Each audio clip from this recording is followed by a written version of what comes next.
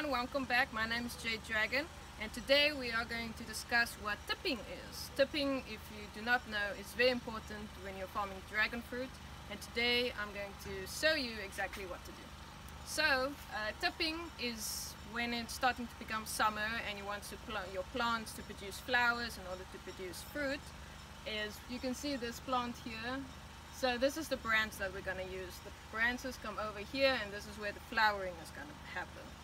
So what you want to do is you just want to cut off the tip like this, about 10 centimeters, just so that the plant knows that okay, I'm not going to grow forever, I need to make fruit now. Because if you just let them grow and grow, they won't feel the need to make fruit. Because what fruit are, it's seeds. So seeds are to make new plants and other plants. So if you, if you just let it grow, it will keep growing, make new baby branches, but it won't produce as much fruit or flowers as we want. So what you're doing when you go, when you tip the tips, the, the plant is thinking, uh-oh, something is happening, I need to produce seeds so that my children can survive. So that is the reason why we tip, because then they'll start producing fruit more. So you can come closer.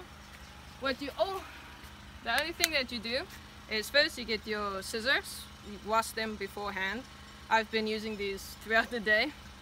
And um, so only do, you do about like 10 centimeters, it's about, let's say there. And only thing you do is you just cut it. It might be a bit, bit big, but try to cut it neatly. And as you see, it's gonna look like that and um, that's about it. Then you just leave it there. It will be fine. Don't worry about bugs getting in there or anything. So this part is going to dry out and then right there are going to pop out two new buds which will eventually become flowers and eventually become fruit. So that is tipping. And now in the next video you will see what we do with the tips that we cut off